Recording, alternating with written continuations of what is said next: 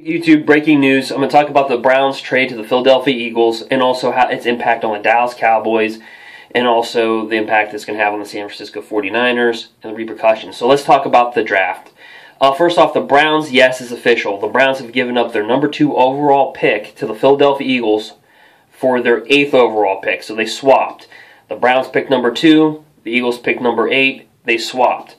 Um, so in, in that, the Browns really got a really good deal. Um, so basically, with that, the Browns got the Eagles' first round pick this year, their first round pick next year in 2017. They get a second round pick in 2018. So they get the Eagles' first round pick next year in 2017.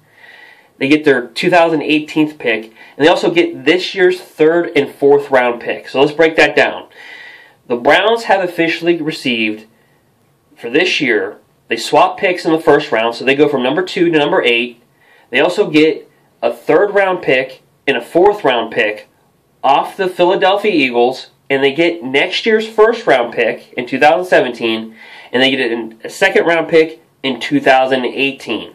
So the Philadelphia Eagles really mortgaged the house to be able to draft up into six spots. So the Browns only go back from number two to number eight. They only go back six spots. So obviously this means the Browns are not going to pick a quarterback this year, and they're really believing in RG3, and it makes the RG3 move that much more better. Now, the Philadelphia Eagles, to even they were at sitting at number 13 um, in January. They moved up to number eight by trading by trading their cornerback uh, Byron Maxwell and also trading the linebacker Kiko Alonso. So they moved from the Miami Dolphins. They moved from 13 to 8 and now, yes, it's official. The Philadelphia Eagles have went from eighth to the second overall pick and taking the Cleveland Browns in another blockbuster move for the quarterbacks. So more likely, Wentz is going to be taken overall number one by the by the Rams, and Goff is going to be taken number two by the Philadelphia Eagles.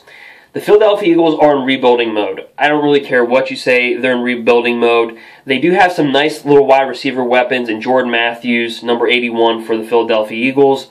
Um, but by the means, they don't have much. They also, for the Philadelphia Eagles to be able to make some of the trades, they also traded away DeMarco Murray to the Tennessee Titans um, a month ago and all they swapped was fourth round picks, and the Browns get that fourth round pick. What's interesting in the fourth round pick, now understand this is a great move for the Browns because the Philadelphia Eagles pick eighth overall in the third round.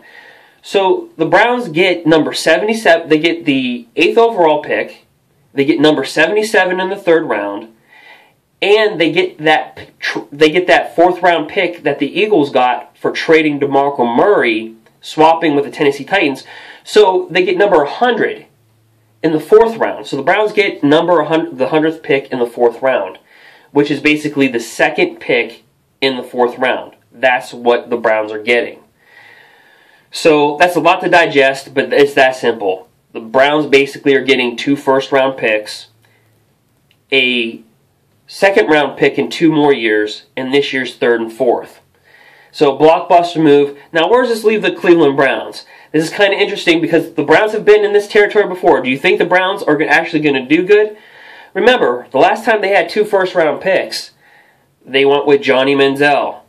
They went they they also went with another quarterback um, who we all know. Um, they went with other quarterbacks as well. So they went with Johnny Manziel, and then basically they went with they went with Brady Quinn.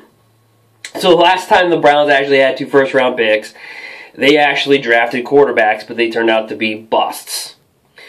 Um, so needless to say, do you think the Browns are actually going to do anything with uh, these picks? Do you think they're going to do anything, or what are your thoughts about the Cleveland Browns and what they're going to do? Now let's get to the second segment of this video, how that's going to impact the rest of this draft. The Cowboys, they're not going to get a quarterback this year. Paxton Lynch, who is the second tier quarterback, there's not too many good quarterbacks in this year's draft. Um, the second tier quarterbacks, past uh, Paxton Lynch, he's not going to, it looks like he's not going to make it past San Francisco.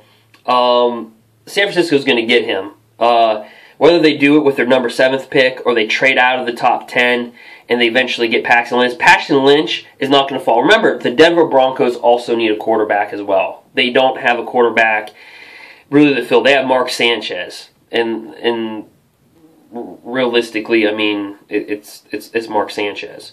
So basically, I, I don't see Paxton Lynch, who was supposed to be projected going into the second round. People had the Dallas Cowboys taking Paxton Lynch uh, in the second round because the Cowboys hold the number fourth pick in the second round and in the first, and people thought the Cowboys were going to trade out of the fourth.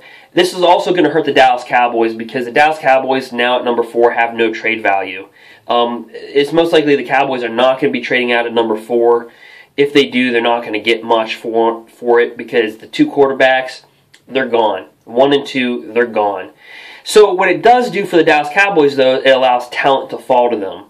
Ramsey, the corner and safety coming out, basically voted as the best football player in this year's draft. So a lot of mocks had the Browns taking Ezekiel Elliott, and I'll, that's a mistake if they do take Ezekiel Elliott with number four. And I'll tell you why. The number fourth pick last year was Amari Cooper. Amari Cooper, his salary, okay, for Amari Cooper's salary, when I broke down Amari Cooper's salary, he had a four year deal worth $22 million at the number four spot. So the number four spot renders you paying 5.5 million per year. Okay? So if the Cowboys were going to draft Joey Bosa at number four or Ezekiel Elliott, they're paying them five and a half million dollars a year. And that's all guaranteed money, guys. Do you know running backs in today's market typically don't make five and a half million dollars? Look, Ezekiel Elliott could be a beast, Ezekiel, but at five and a half million dollars a year, they definitely could go out in free agency. They signed Alfred Morris, but they could have got Lamar Miller uh, from the Houston uh, before he signed with the Houston Texans. So I don't think picking a running back at number four because of what he's paid and the guaranteed money, it's not worth it in today's NFL. I don't think it's smart for them to take Ezekiel Elliott at number four. But what it, and Joey Bosa again. No, I'm not high on Joey Bosa at all. To me, he reminds me of more Paul Kruger, who plays for the um, Cleveland Browns currently, and he just fell off. So to me, I, I think this has a trickle effect where basically the the Cowboys are not going to be trading out, and if they do trade out, they're not going to get much. They're not going to get a lot in return at number four. So basically, this leaves the Cowboys probably taking Ramsey at number four. Um, everybody, I, I know everybody in Dallas wants offense for the for the Dallas Cowboys or the next quarterback. I just don't think it's going to happen in this year's draft. Um, Paxton Lynch is not going to be there in the second round because of the Rams and now because of the Philadelphia Eagles. There's just no way Paxton Lynch is going to fall to the second round at number four for the Dallas Cowboys. It's just not going to happen in, in this year's draft. He's not going to make it past Denver. He's not going to make it, maybe not even past the 49ers. I mean, quarterbacks are just getting shoved way up, and that that's how it's affecting the draft. So that's how it's going to affect the 49ers, and that's how it's going to affect the Cowboys. Now, here's the interesting thing: if you if the Cowboys do trade out of number four and can get into number 10 and actually get Ezekiel Elliott, that's a smart move because the salary changes. So let's compare this. Todd Gurley last year was picked at the number 10 spot. So what does that mean?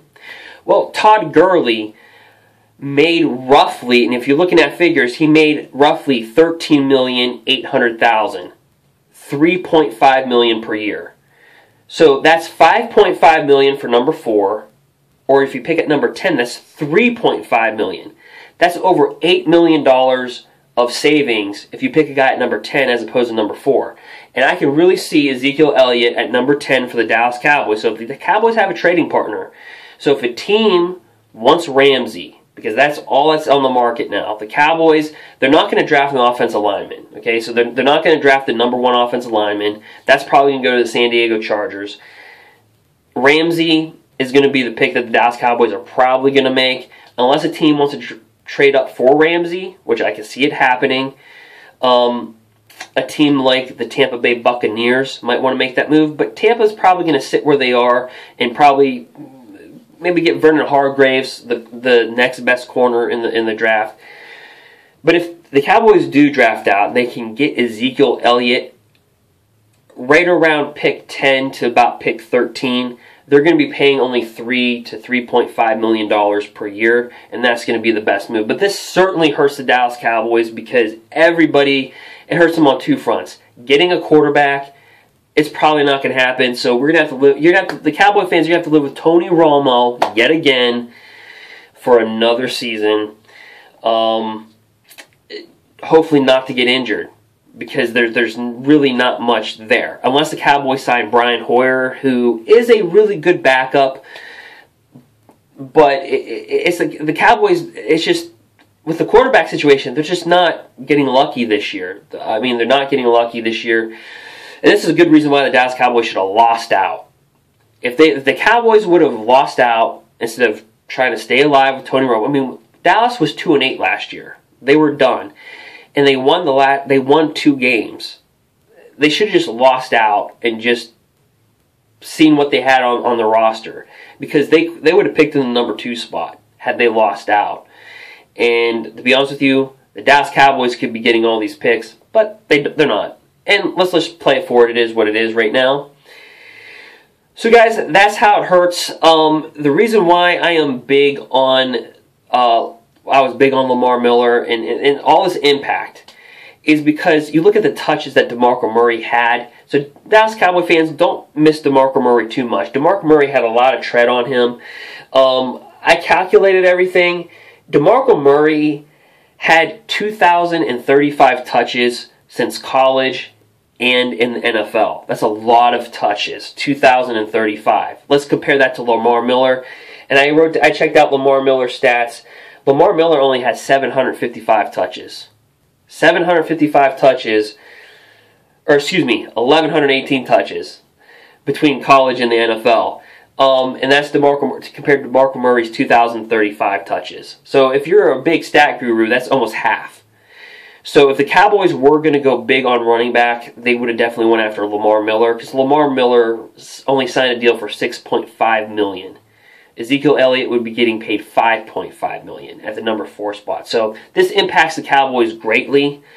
Um, but the, the Eagles are in clear building mode. I mean, they don't have many picks left. Um, they traded a lot. They got a lot off the roster. They're basically semi quasi in rebuild mode.